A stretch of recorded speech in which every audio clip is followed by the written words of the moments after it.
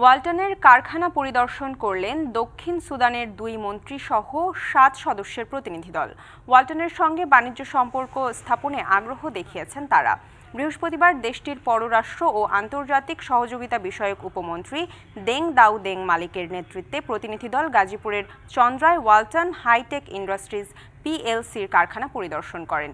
Deng দাউ Deng মালিক বলেন, বিশ্ববাজারে ওয়ালটন সুপরিচিত। তাই ওয়ালটনের সঙ্গে ব্যবসায়িক ও বাণিজ্য সম্ভাবনার ক্ষেত্রগুলো খুঁজে বের করার লক্ষ্যে কারখানা পরিদর্শনের এই উদ্যোগ।